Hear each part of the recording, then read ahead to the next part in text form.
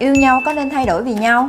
Đừng thay đổi bản thân vì người khác như vậy bạn sẽ đánh mất chính mình đó. Ừ, thay đổi để hòa hợp với nhau hơn. Tốt mà. Hai các bạn đi gì đây. Có bao giờ các bạn tự hỏi liệu mình có nên thay đổi bản thân theo cách mà người yêu muốn? Có nhiều quan điểm thật sự không biết nghe theo bên nào. Mình cùng đi tìm câu trả lời ha. Một nhìn lại khoảng thời gian mới yêu. Bạn thử nhớ lại xem lúc mới yêu bạn có thay đổi nhiều không? Bình thường bạn không để ý tóc tai quần áo của bản thân lắm. Thì những ngày đó tự dưng bạn chăm chỉ soi gương làm đẹp hơn. Trước đó bạn ít cười thì tự dưng gặp người ta bạn cười cả ngày. Bằng cách nào đó bạn cũng đã thay đổi bản thân theo hướng tốt hơn. Vì muốn anh ấy nhìn thấy con người hoàn hảo nhất của mình. Mặc dù mục đích chính là làm ảnh vui, nhưng mà những ngày đó bạn cũng vui mà, đúng không? Cộng một điểm cho team nên thay đổi vì nhau nha. Hai Vậy họ muốn thế nào mình cũng nghe theo hả? Bạn nghĩ sao? Nếu nghe theo bất cứ yêu cầu nào của đối phương, bất kể bạn thích hay không thích thì bạn sẽ không còn là bạn nữa. Họ không cho phép bạn mặc đồ đẹp để mấy đứa con trai khác không ngó ngàng. Không cho phép bạn có bạn bè để bạn chỉ gặp mỗi họ mà thôi. Không cho phép bạn để tóc ngắn vì họ thích tóc dài. Không cho phép bạn ngủ sớm vì muốn trò chuyện với bạn tới sáng. Họ bất chấp điều đó có thể làm bạn mất tự do hay không, ảnh hưởng đến sức khỏe của bạn thế nào, miễn là họ thấy vui thì bạn phải cân nhắc lại về mối quan hệ này nha. Nếu mà gặp những trường hợp này, điều bạn nên làm là từ chối thật dứt khoát và giữ chính kiến của mình.